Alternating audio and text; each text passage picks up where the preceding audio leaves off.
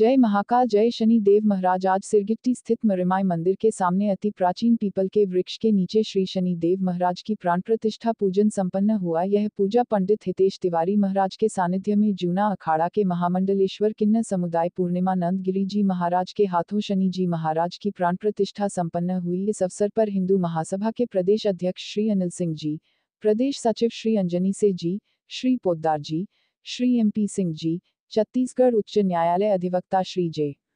महिलांग जी, स्वास्थ्य विभाग से विष्णु जी, राजेश जी एवं किन्न समुदाय के लोगों ने बढ़ चढ़ के शनि जी के दरबार में भजन कीर्तन किया।